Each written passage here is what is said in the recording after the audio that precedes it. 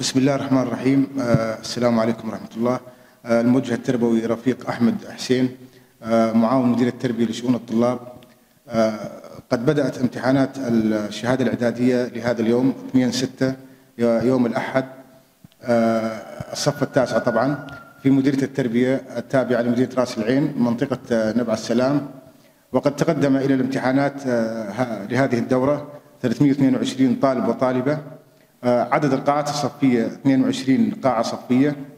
كانت نسبة آه، أعداد الطلاب المتقدمين آه، لهذه الدورة آه، عام آه، 24 هي آه، نسبة جيدة على العموم أسوة بالسنوات السابقة. وقد تمت العملية الامتحانية على أكمل وجه. لهذا اليوم آه، وعلما بأن أول مادة هي لغة عربية آه، قد تم تأمين أيضا أجواء مناسبة للطلاب ولضمان سير العم- العملية الامتحانية آه، قد كانت الأسئلة مؤتمتة بحيث تتيح للطالب حرية الاختيار آه، من متعدد على مبدأ آه، حرية الاختيار من متعدد.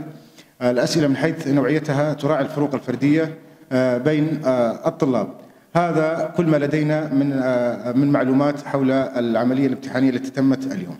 اكتب لي رقم ورقم الجلوس. اكتب لي اسمك ورقم هويتك. سليمان عبد القادر الحسينو من رأس العين. آه، أدرس آه، صف تاسع من مدرسة سلمان الفارسي الشرعية. جاية أسئلة يعني ماشي الحال كويسة وبسيطة بكم سؤال صعب. والحمد لله قدمنا اليوم مادة عربي.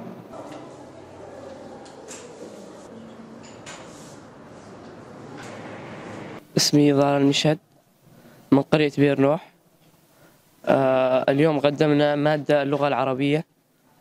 وبالنسبة للامتحان كان كويس والأسئلة يعني لا صعبة ولا سهلة. يعني الأسئلة كويسة وأجواء الامتحان يعني ما ما في أي شيء يعني. والله التحضير الحمد لله كان كويس ما في يعني أي مشكلة بالتحضير.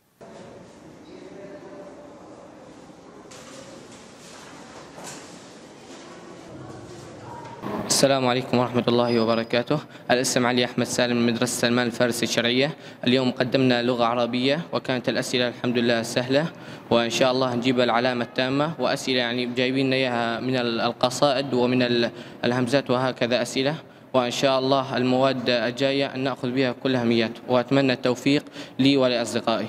إن شاء الله عم ندرس تحضيرات كويسة بس بالأسئلة المواد العلمية شوي فيها صعوبة وإن شاء الله نجيب بها علامات كويسة. وأتمنى التوفيق لكل الطلاب.